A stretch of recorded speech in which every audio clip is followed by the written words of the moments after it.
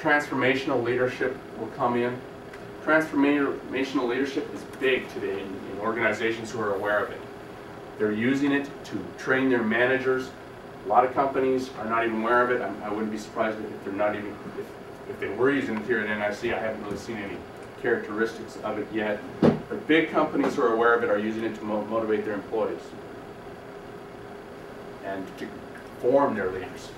So essentially, leadership in, in this vein, leadership is empowering steward, stewardship that nurtures human potential and it promotes the inner self-development of moral autonomy through its appeal to higher commonly shared values.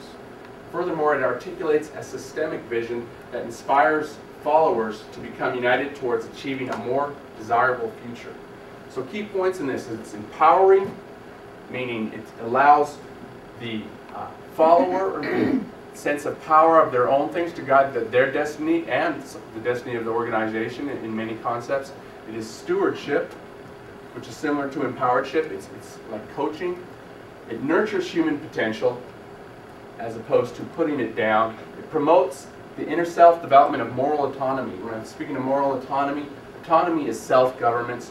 So it talks about uh, guiding yourself with decent values. So that's what moral autonomy relates to appeals to the higher commonly shared values.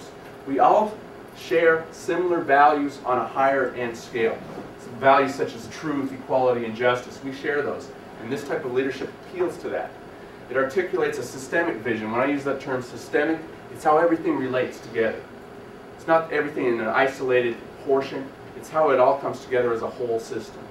And that takes all this, all these qualities, and it will inspire the person to become united to achieving a more desirable future. This is where the vision ties in. Uniting the group to achieve the vision.